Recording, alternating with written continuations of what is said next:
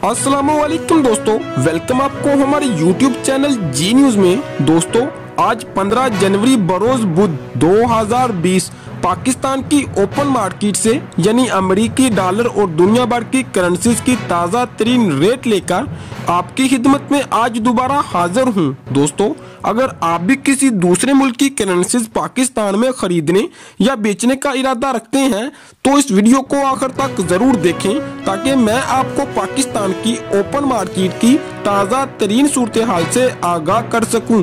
تو ویڈیو کی تفصیل میں آگے جانے سے پہلے ویڈیو کو لائک کیجیے، ہمارے چینل جی نیوز کو سبسکرائب کیجیے اور بیل آئیکن پر ضرور کلک کیجیے۔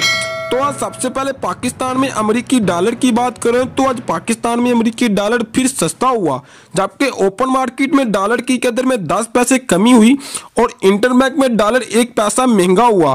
ایکسچینج کمپنیز ایسوسییشن کے مطابق آج ڈالر ایک سو پچپن پے میں فروخت ہو رہا تھا، جو کہ گزارشہ روز ایک سو پچپن آشاریہ دس پیسے میں دستیاب تھا۔ اسی طرح انٹر بینک میں ڈالر کی قدر میں ایک پیسہ اضافہ ہوا، جس کے بعد انٹر بینک میں ڈالر کی نئی قیمت ایک سو پچپن آشاریہ نبے پیسے میں فروخت ہو رہی ہے۔ آپ کو یاد کرا دیں گزرشہ سال جون سے لے کر اب تک ڈالر کی قیمت میں نور پیسے کی کمی ریکارڈ کی جا چکی ہے۔ آپ کو ایک بار پھر بتائیں، آج پاکستان میں ڈالر پھر سستا ہوا۔ انٹر بینک میں ڈالر کی قدر میں ایک پیسہ اضافہ ہوا، جبکہ اوپن مارکیٹ میں ڈالر کی قدر میں دس پیسے کمی ہوئی۔